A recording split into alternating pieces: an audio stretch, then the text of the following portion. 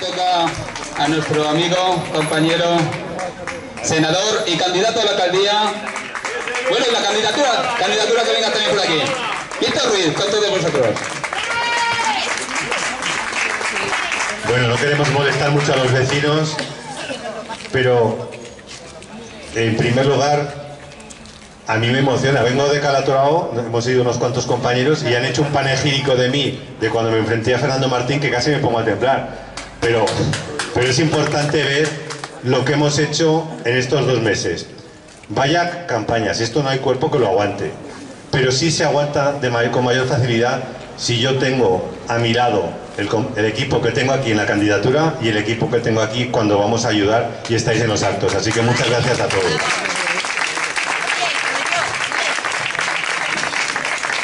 Sí, el rollo, el rollo tiene que estar aquí. Claro. En segundo lugar, en segundo lugar, que sepáis que nadie daba un duro por nosotros. Nadie daba un duro por nuestra candidatura, por nuestro programa electoral. Y voy a ir por lo último.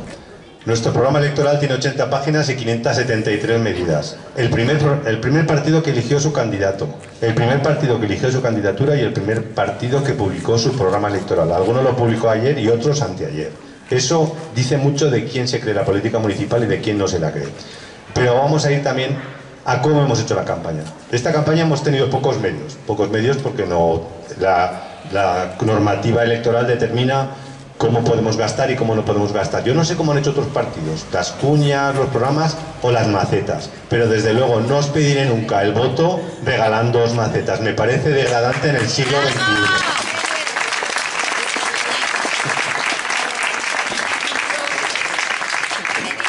Os decía que nadie daba un duro por nosotros. Pero por si alguno de los que estáis aquí no os acordáis, llevamos dos meses en campaña. En esos dos meses hemos contado nada más y nada menos que con cinco compañeros de la Comisión Ejecutiva Federal. Con Cristina Narbona, presidenta del Partido Socialista, con Adriana Lastra, vicesecretaria general, con Irache García, miembro de la Ejecutiva Federal y eurodiputada, con Mónica Silvana, miembro de la Ejecutiva Federal y futura eurodiputada, y con Andrés Perello, que aunque es amigo nuestro, no podemos olvidar que es miembro de la Ejecutiva Federal, delegado del tema de memoria histórica, delegado del tema de la eutanasia y embajador de España en la UNESCO y que desde luego hizo su visita a Calatayud, a Santa María, como embajador de la UNESCO. Eso no lo ha hecho ningún partido, es más, el otro día hubo un mitin aquí y el único líder que trajo el Partido Popular es un, pers un personaje, un político que lo único que ha hecho es perder el escaño que tenía el Partido Popular por el País Vasco, el señor Maroto. Ese es el líder del Partido Popular. Y tengo, tengo más cosas que decir. Algunos de los que estáis aquí no lo sabéis, pero para mí es muy importante decirlo porque yo soy abogado y creo en la justicia. Y hoy la justicia ha sancionado al alcalde de Calatayud con 300 euros por vulnerar la legislación en materia de régimen electoral general. Hoy la justicia ha sancionado al alcalde de Calatayud por hacer trampas. Hoy la justicia ha sancionado al alcalde por utilizar el despacho de la alcaldía para hacer política cuando no lo puede hacer.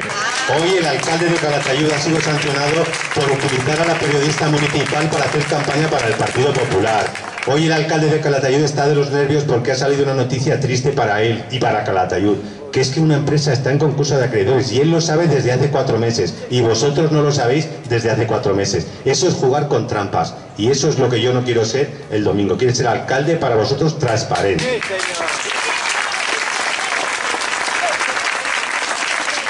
Y luego, tampoco lo he hecho, tampoco lo he hecho.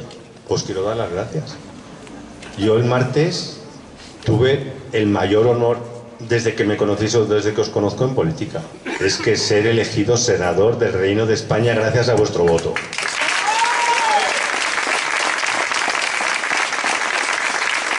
Me hubiera, me hubiera gustado ver la cara de ese señor que hace dos meses decía por las empresas y por los barrios, yo cuando sea senador, y el otro del PSOE que no va a ser senador, y resulta que, el senador es el del PSOE y el que no es senador es él.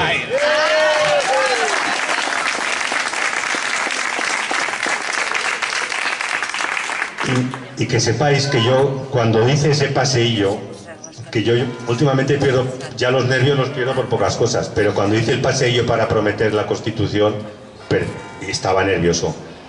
Pero más nerviosos estaban Arenas Bocanegra, Maro, eh, Floriano y una señora que yo creía que ya no estaba en política, que es Rudy Úbeda. Pues esos estaban más nerviosos al ver lo que tenían enfrente. Y vamos al grano. Os he dicho que estoy orgulloso de mi equipo, de, de los que están en la lista, los que no lo están, del programa electoral. Y estoy orgulloso de lo que he percibido de la ciudadanía, porque en otras campañas los ciudadanos no venían a la carpa del PSOE o no venían a recoger la publicidad. Y en esta campaña, hasta el día que estuvimos frente por frente con el Partido Popular, la gente venía con libertad a coger la publicidad del Partido Socialista porque sabían que unos prometen, cumplen lo que prometen y otros no cumplen absolutamente nada. Y fijaros, fijaros cómo estaré de cansado en esta campaña que me he olvidado de hacer campaña con algo fundamental, y algunos lo están aquí. Hace cuatro años y un mes, el alcalde de Calatayud, con medios propios, hizo un mitin a los, habitantes de Maribella. Les dijo, si me votáis, Maribella será barrio urbanizado con fondos públicos. Y ahora al venir de Calatorao digo, oye, me olvidó en campaña de que el alcalde prometió a los, habitantes de Maribella urbanizarles Maribella y el alcalde se ha olvidado en campaña y en los cuatro años de urbanizar Maribella. De eso no se acuerda. Igual que no se acuerda de las 127 fotos que se ha hecho cuando venía una empresa, pero no se ha hecho ninguna foto cuando las 127 empresas han desaparecido. Eso es un poco lamentable. Como me quedan dos horas para decir barbaridades antes de que la normativa me lo prohíba, Insisto, yo hemos hecho una campaña magnífica. Yo no sé cuántas veces hemos puesto la carpa, cuántos folletos hemos repartido, cuántos bolígrafos, pero todos y cada uno de los folletos y los bolígrafos que hemos regalado los hemos regalado con el corazón. Algunas personas venían sabiendo que no nos van a votar, pero lo hemos dado con el corazón porque estamos en campaña para hacerlo. Y desde luego no he visto la ilusión que he visto en la campaña del PSOE en ninguna de las otras fuerzas políticas. Entonces, en resumen, el domingo todo el mundo a votar. Hay que votar. Ese 74% de personas que votaron el otro día tienen que volver a salir a votar. Si conseguimos un voto más que el PP, solo uno, me doy por satisfecho, porque ya sería importante ser la primera fuerza política. Hay que recordar que el líder del PP dijo que tenía que gobernar la fuerza más votada. ¿Qué pasaría si Calatayud, el PSOE, es el más votado y luego las fuerzas de derecha no nos dejan gobernar? Y luego, cuando lleguéis a vuestra casa, recordad, yo, esta tarde he cometido un error, pero un error bien intencionado, porque yo he dicho en campaña que deseamos que haya cinco administraciones en manos socialistas. Gobierno de España, Gobierno de Aragón, Diputación Provincial de Zaragoza, Comarca y Ayuntamiento. Y me he olvidado la sexta. La sexta es Europa. Y Europa, los socialistas ganamos, ganamos ayer en Holanda. Imaginaros lo que puede representar que ganemos en Holanda, en Portugal, en España, en Francia está difícil, pero que el Partido Socialista Europeo fuese primera fuerza también en Europa. Seis administraciones en manos de los socialistas, eso no se había dado nunca. Y eso es algo importante. Y por cierto, que no yo lo he dicho en Calatorá y lo digo aquí. Hace, esta semana hemos celebrado dos años y cuatro días de la victoria de Pedro Sánchez en las primarias. A Pedro Sánchez le dijeron loco hace mucho tiempo, le dijeron loco cuando ganó las primarias, le dijeron que no era, que estaba loco cuando hizo la moción de censura. ¿Qué deberían decir ahora esos que dijeron que Pedro Sánchez estaba loco hace cuatro años, hace dos años y hace diez meses con la moción de censura? Pedro Sánchez nos ha puesto en la primera fila a los socialistas en España y en Europa.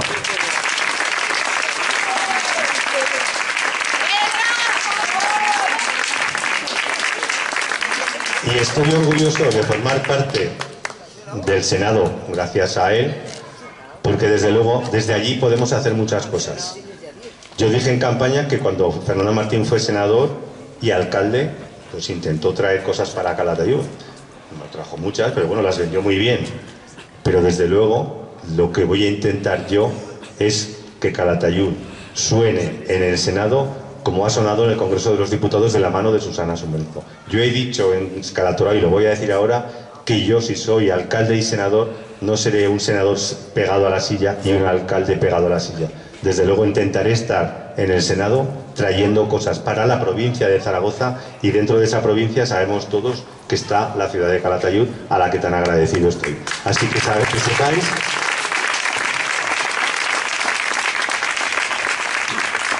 que sepáis que yo he prometido que si yo soy alcalde y senador tendré que dejar por razones evidentes mi profesión, de la que he vivido hasta el momento, yo no he necesitado la política para vivir, pero lo haré orgulloso, lo haré comprometido porque mis palabras me avalan y, me, y lo haré tranquilo, porque el día, o los dos días que yo esté en Madrid, cada 15 días, sabré que aunque no esté el alcalde, estará buena parte de este equipo que me acompaña en la alcaldía de Calatayud. Así que pocas cosas más. Insisto, orgulloso de la campaña que hemos hecho, orgulloso de que nos ayudéis, que seáis nuestros embajadores electorales en estas dos horas o mañana. Mañana nosotros no podemos pedir el voto, pero vosotros sí. Y luego, aprovechando el auditorio, el domingo tenemos 26 o 27 mesas electorales, tenemos 40 interventores, pero no nos vendría mal alguno más. De tal manera que si alguno de vosotros el domingo no tiene nada que hacer aparte de votar y quiere colaborar con el PSOE para ser apoderado o interventor, nos vendrá bien. Porque ya veréis, el domingo, si ganamos, pues ahora estaremos aquí 50, 60, 70, 100, pero si ganamos vendrán a tirarnos de la chaqueta muchos de los que no están aquí. Yo sabré distinguir quién estuvo a las duras, quién estuvo a las maduras. Muchas gracias y a votar.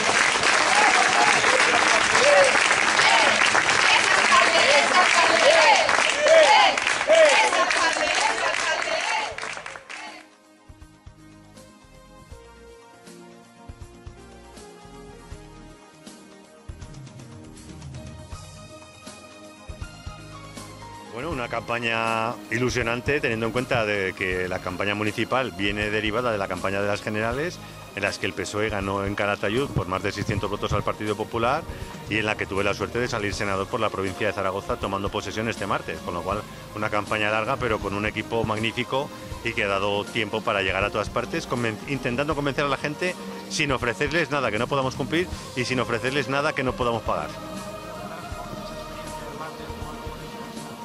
Bueno, pues fue realmente intensa, un poco larga, porque realmente hay tres votaciones con papeleta y luego el acto de la promesa o jura, pero interesante y sobre todo pues verte rodeado de personas que yo solo conocía algunas de ellas por la televisión. Bueno, ya lo prometí en los medios de comunicación. Lo primero, bajar el IBI. Lo segundo, quitar algunos eh, volardos. Y lo tercero, devolverle a esta ciudad la ilusión y ponernos a trabajar en lo fundamental que es en el empleo. Y más hoy que hemos tenido malas noticias. Bueno, yo me quedaría con que mm, de momento la única noticia que tenemos es eh, el concurso de acreedores y espero y confío y si podemos colaborar lo haremos en que la empresa salga del concurso de acreedores y que todo el mundo cobre, los trabajadores los primeros, pero el ayuntamiento también, porque el ayuntamiento es acreedor de esa empresa.